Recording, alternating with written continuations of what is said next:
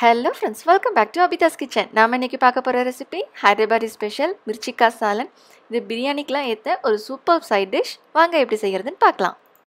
முதல்ல நம்ம இதுக்கு ஒரு பேஸ்ட் ரெடி பண்ண போகிறோம் அதுக்கு வேர்க்கடலை ரெண்டு டேபிள் ஸ்பூன் அளவு எடுத்திருக்கேன். இதை நல்லா ட்ரை ரோஸ்ட் பண்ணிக்கலாம்.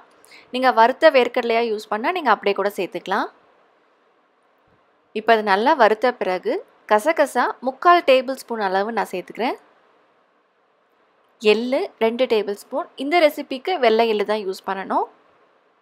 கொப்பரை தேங்காய் ரெண்டு டேபிள் ஸ்பூன். இந்த மாதிரி நல்லா பொடியாக நறுக்கி ஒரு ரெண்டு டேபிள் ஸ்பூன் அளவு சேர்த்துக்கலாம். கால் டீஸ்பூன் அளவு வெந்தயம். இப்போ இது எல்லாத்தையும் சேர்த்து ஒரு அஞ்சுலேருந்து ஆறு நிமிஷத்து அளவுக்கு நல்லா ஸ்லோ ஃப்ளேம்லேயே வச்சு நல்லா வறுத்துக்கலாம். இந்த எள்ளோட ஸ்மெல்லு நல்லா வரணும். பச்சை வாசனை எல்லாம் போகணும். இப்போ இது நல்லா ஆறின பிறகு மிக்சி ஜாருக்கு மாற்றிக்கலாம் இது கூடவே மூணுலேருந்து நாலு பல்லளவு பூண்டு இஞ்சி ஒரு சின்ன துண்டளவு சேர்த்துக்கலாம். இது கூடவே கொஞ்சமாக தண்ணி சேர்த்து நல்லா ஒரு திக் பேஸ்ட் மாதிரி நம்ம அரைச்சி ரெடி பண்ணிக்கலாம். இந்த டிஷ்க்கு முக்கியமான பொருள் இந்த பஜ்ஜி மிளகாய் தான் நான் இந்த கிரேவிக்கு ஒரு மூணு மிளகாய் யூஸ் பண்ணுறேன் இந்த மாதிரி காம்பெல்லாம் எடுத்துட்டு உள்ளே இருக்கிற அந்த விதலாம் மட்டும் நம்ம எடுத்துடணும். ஏன்னா அது வந்து இன்னும் காரம் கொடுக்கும். இந்த சீட்லாம் எடுத்துட்டு கொஞ்சம் மீடியம் சைஸாக கட் பண்ணிக்கலாம். ரொம்ப பொடியாக கட் பண்ண வேண்டாம். அடுத்து ஒரு கடாயில் ரெண்டு டேபிள் ஸ்பூன் அளவு எண்ணெய் சேர்த்துக்கலாம். இப்போ இதில் நம்ம கட் பண்ணி வச்ச மிளகாவையும் சேர்த்து ஒரு ரெண்டு மூணு நிமிஷம் அளவுக்கு நல்லா ஹை ஃப்ளேம்லேயே வதக்கிக்கலாம். இப்போ பாருங்கள் மிளகாய் நல்லா வதங்கிருச்சு. இப்போ இதை தனியாக எடுத்து வச்சிடலாம். இப்போ இந்த எண்ணெயிலேயே தாளிக்கிறதுக்கு கொஞ்சமாக கடுகும் சீரகமும் சேர்த்துக்கலாம். பொடியாக கட் பண்ணி வச்ச வெங்காயம் ஒன்று நல்லா சின்ன சைஸாக சேர்த்துக்கோங்க. வெங்காயம் வந்து அதிகமாக தேவைப்படாது. இது கூடவே கொஞ்சமாக கருவேப்பிலை. வெங்காயம் நல்லா வதங்கின பிறகு நம்ம அரைச்சி வச்ச பேஸ்ட் சேர்த்துக்கலாம்.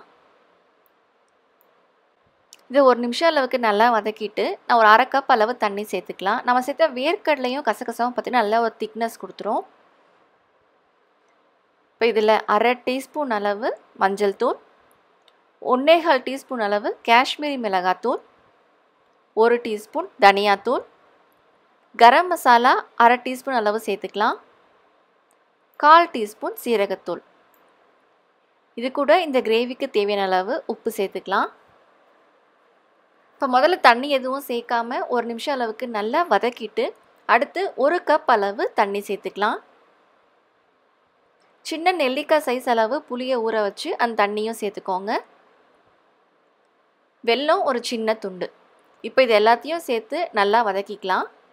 இப்போ இது கொதிச்சதுன்னா இன்னுமே நல்லா திக்காகும். அதனால் தேவையான அளவு தண்ணி சேர்த்துக்கோங்க. இப்போ நம்ம முன்னாடியே வதக்கி வச்ச பஜ்ஜி மிளகாவையும் சேர்த்துக்கலாம். இப்போ இதை அப்படியே மூடி வச்சு ஒரு பத்து நிமிஷம் அளவுக்கு ஸ்லோ ஃப்ளேம்லேயே நல்லா கொதிக்க வச்சுக்கலாம். இப்போ பாருங்கள் எண்ணெய்லாம் கூட நல்லாவே பிரிஞ்சு வந்துருச்சு. அவ்வளோதாங்க ரொம்பவும் டேஸ்டியான மிர்ச்சிக்கா சாலன் சூப்பராக ரெடி ஆகிடுச்சு இது பிரியாணி புலாவுக்குலாம் ஏற்ற ஒரு அமேசிங் சைட் டிஷ் கண்டிப்பாக நீங்கள் ட்ரை பண்ணி பார்த்து எப்படி இருக்குன்னு சொல்லுங்கள் உங்களுக்கு இந்த வீடியோ பிடிச்சிருந்தா மறக்காமல் லைக் பண்ணுங்கள் ஷேர் பண்ணுங்கள் சப்ஸ்கிரைப் பண்ணுங்கள் தேங்க்யூ